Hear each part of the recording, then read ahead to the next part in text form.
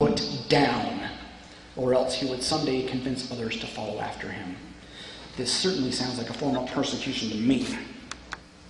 One recent anti Mormon publication has argued that the traditional story of the first vision didn't even exist until it was written down in 1838 and wasn't well known among Latter day Saints until 1840. The theory of Joseph's detractors is that the first vision story was simply invented as an afterthought in the grand scheme of the restoration scam. But on this slide, we see a great deal of evidence to the contrary. From this timeline, we learn that in February of 1830, Joseph Smith's own hometown newspaper announced that he had seen God personally.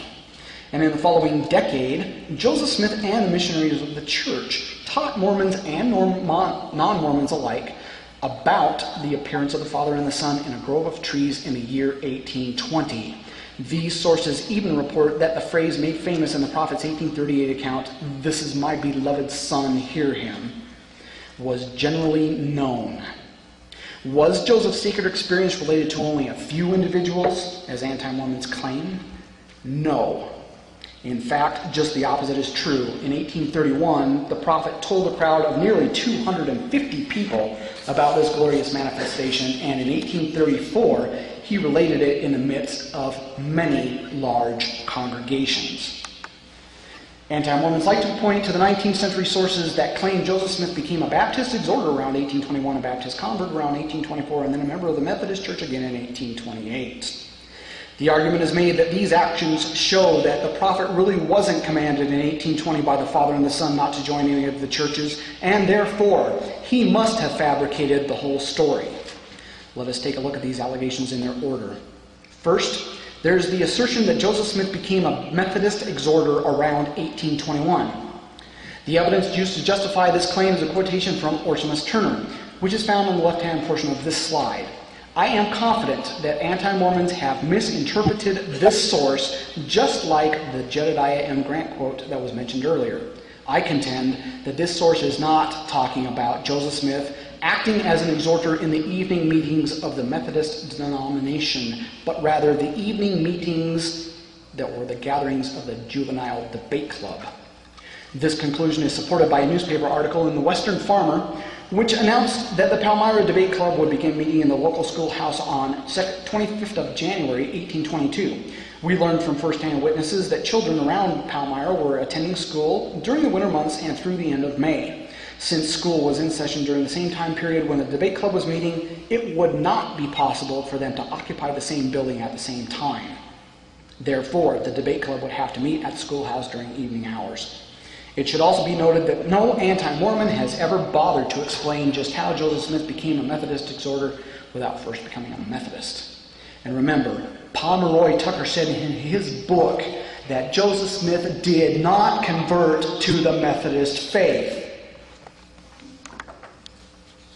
What about Fayette Lapham's claim that the father Smith told him around 1830 that his son had joined the Baptist church around 1824? Mr. Lapham made this claim in 1870, which was 40 years after this statement was supposedly made. This claim cannot be taken seriously since no official record of Joseph Smith's baptism into the Baptist Church has ever been produced, and nobody else ever mentioned this alleged event except for Fayette Lapham. It should also be noted that according to Josiah Stowell Jr., Joseph Smith did not profess religion when he was 20 years old or thereabout, meaning that he did not belong to any church around the year 26. If Joseph had become Baptist around 1824, we would expect him to declare as much to Josiah Jr. just two years later. Mr. Lapham's memory is simply not supported by documentary sources. There is no verifiable evidence that Joseph Smith ever became a Baptist. Now, what about the charge that the prophet sought membership in the Methodist Episcopal Church in June of 1828? Anti Mormons tried to support this idea by citing a joint statement published by Joseph and Hiel Lewis, who claimed nearly 51 years after the fact that the prophet sought to join the Methodist Episcopal Church in Harmony, Pennsylvania at the same time that he was translating his gold Bible. But as can be seen on this Michael Morse, the Methodist class leader in Harmony, Pennsylvania, at the time this alleged event took place, stated unambiguously that Joseph Smith did not seek to become a full member. The prophet did indeed attend Methodist gatherings in Harmony, but did he do so with the intent of converting? This is exceedingly unlikely. Why? Because Joseph declared to one of the residents of Harmony between December 1827 and May of 1829 that he was a prophet sent by God to convert other people. More, it is recorded that during Joseph's stay in Harmony, he undertook to make a convert of Nathaniel Lewis, who was the deacon in the local Methodist church and also the father of Joseph and Hiel Lewis.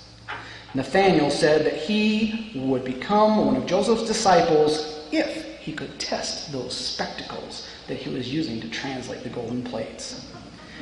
But Joseph declined his offer.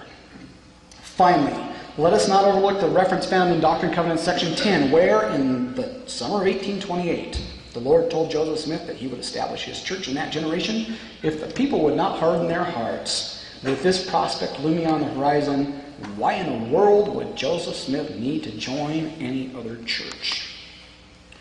Let us move on now to how anti Mormons make claims connected with the angel Moroni. In this section, I would like to say a few words about the notion that Joseph Smith had a dream about the angel instead of a vision.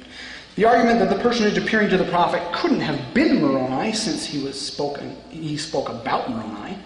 The assertion that Joseph Smith couldn't decide whether to call the angel Moroni or Nephi, and the very strange idea that the prophet learned about the golden plates from a bleeding Spanish ghost. I love this one. There's a group of 19th century non Mormon documents that say Joseph Smith learned about the existence of the golden plates in a dream instead of a vision.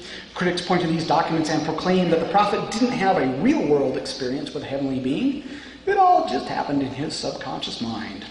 But on this slide, you'll see that the dream notion was formally refuted in the church's official newspaper in July 1835.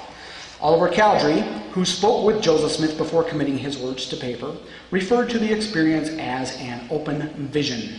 He noted that Joseph Smith was definitely awake because he was praying at the time. This experience, said Oliver, was not a dream. The prophet confirmed these points just a few months later when he wrote in his diary that he was not asleep before this manifestation took place, and he classified the experience as a vision.